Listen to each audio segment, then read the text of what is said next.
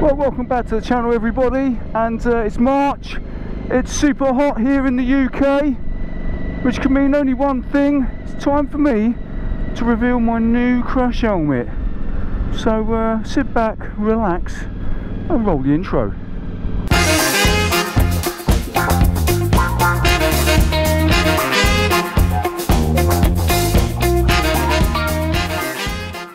So, I said in a previous uh, video that I was going to get a second helmet for exactly this eventuality. So when the weather gets hot, I don't want a full face, I want a bit more air going around. I don't know whether it's going to make any difference to the vlogging, if it upset the, uh, the sound. However, I thought, no, I'm going to do it. So, without further ado, let's morph into my new helmet.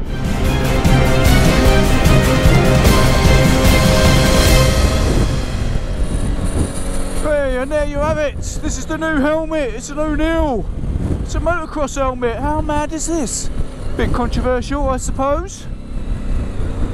What made you go for a motocross helmet, Jim? Well, I was looking at the dual sport helmets originally, and uh, couldn't really see any that would uh, facilitate me sticking a camera on the front.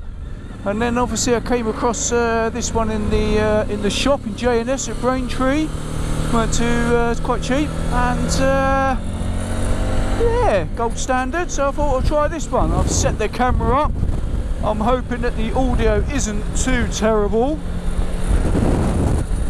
It's nice and airy though. Oh, and the great thing about this is as well, if I don't want to use the goggles, because obviously you get a bit of a sweat on even with the goggles, I can just wear my sunglasses underneath instead, so I can uh, swap the goggles out. And they're pretty cool looking goggles, aren't they? I've got to, I've got to say, the goggles look amazing. But uh, yeah, so I can swap the goggles out if I want, and uh, yeah, just wear my sunglasses. So that was my reasoning, because like the weather is just so hit and miss in the UK at the minute. Like I said, it has gone in the sun at the minute here. It's March. It is absolutely reddish. You get a sweat on. But the wind there's a bit of a chill in the wind. It's not quite spring yet. So uh, yeah this is the ideal uh, opportunity to check out the crash helmet. So this is it. This is the new what I'm going to wear in the summer.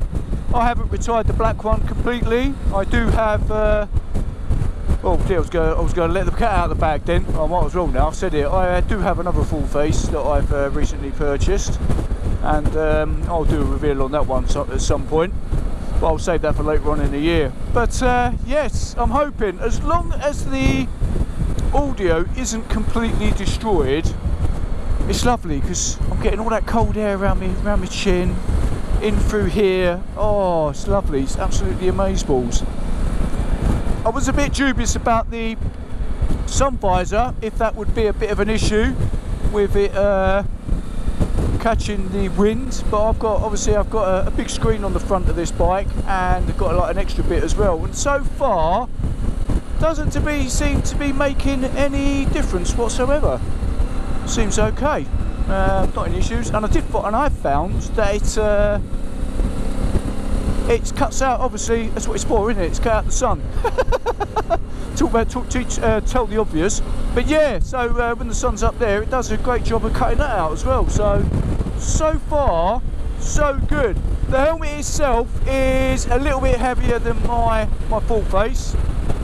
And uh, yeah my only my only big concern with it so far will be is the audio coming out okay so uh, we shall see. But I think uh, on long journeys in the summer this is going to be yeah ideal. I have found though uh, it's obviously a new helmet.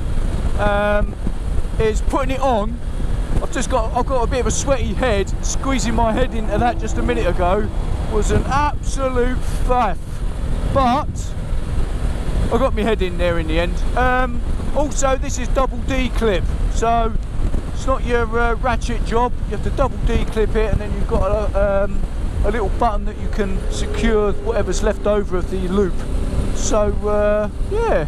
So far so good. I'll let you know. But overall doesn't seem too bad so far. Seems to be doing the trick. So obviously with the GoPro I had to be a bit creative and mounting it on this helmet. And obviously the way that it's angled I'm hoping that the angle isn't too bad Um, I've got my GoPro Hero 4 on at the minute and I've um, set it, I've got one of those screens that you stick on the back and I've set it for upside down aspect ratio. So uh, that's the only difference I've had to do regarding helmet wise. With my full face I can just have it set as normal, I haven't got to flap around changing the aspect ratios. But with this one, yeah I've had to put it uh, upside down. So uh, hopefully, touch wood, it's all coming through great. Got an update for you as well with the big toe. Big toe still sore. Poor little thing.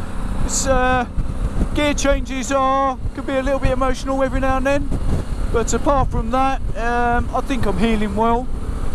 Remember kids, whatever you do when you're in the gym, make sure you rack those weights properly when you're putting them away. Don't drop them on your toes, because uh, you tend to break your toes.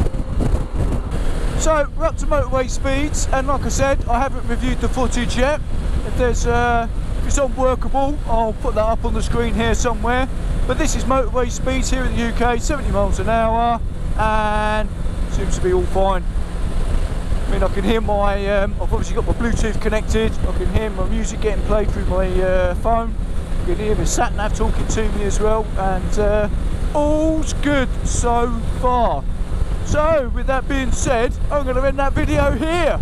So, like I always say, if you like the videos, give me a thumbs up. If you haven't already subscribed, smash that red subscribe button. And if you are a subscriber, hit the notification bell. That way, every time this idiot uploads a video, you get notified. And that, my friends, is Jim Diesel out.